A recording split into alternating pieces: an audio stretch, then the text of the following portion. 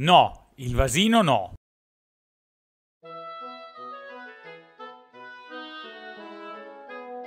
Oggi Simone e Gaspare giocano con le biglie.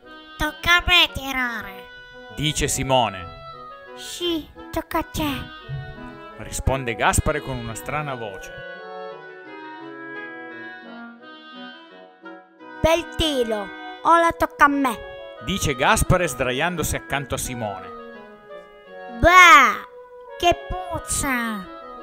Grida Simone tappandosi il naso. Hai fatto pupù nel pannolino. Strilla Simone. No, no pupù pannolino no. Dice Gaspare. Mamma entra nella stanza. Ma che cattivo odore che c'è qui dentro! Papà entra nella stanza. Oh, che puzza! Gaspare dice. Non sono io, è Simone. Gaspare, perché non cominci a usare il vasino? Ormai sei grande per il pannolino, dice la mamma. Non è difficile, dice il papà. La prossima volta che hai voglia di fare pupù, vai a prendere il tuo vasino, No, il vasino no. urla Gaspare. Ma dove vai? Chiede Gaspare. Da Ferdinando a fare una pista per le biglie. Venga anch'io. Un papavolo che fa ancora pupù nel pannolino non può assolutamente venire a giocare con noi. risponde Simone.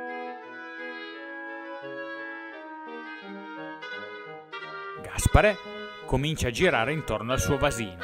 Posso fare tante cose col vasino. Una pentola per cucinare, un cavallo, un cappello. Vieni qui Milù, devi andare sul tuo vasino, gattone. Quando Simone torna a casa è molto eccitato. Sai Gaspare, ho vinto 10 biglie marmorizzate, 6 biglie occhio di gatto e 4 biglie pipita. E poi sono andato in piscina con Ferdinando, è stato troppo bello. E tu Gaspare, cosa hai fatto? Ho giocato col vasino. No, ma stai bene? La notte stessa Gaspare fa dei sogni bellissimi. E la mattina successiva, dopo una bella dormita, improvvisamente Presto, presto, il mio vasino. Gaspare si leva i pantaloni del pigiama, poi si leva il pannolino. Gaspare passa molto tempo sul suo vasino. Guarda in giù, guarda in su, sta comodo, prende un libro e quando ha finito corre a farlo vedere a mamma e papà. Bravo Gaspare! esclama la mamma. Bravo Gaspare! esclama il papà. Bleh.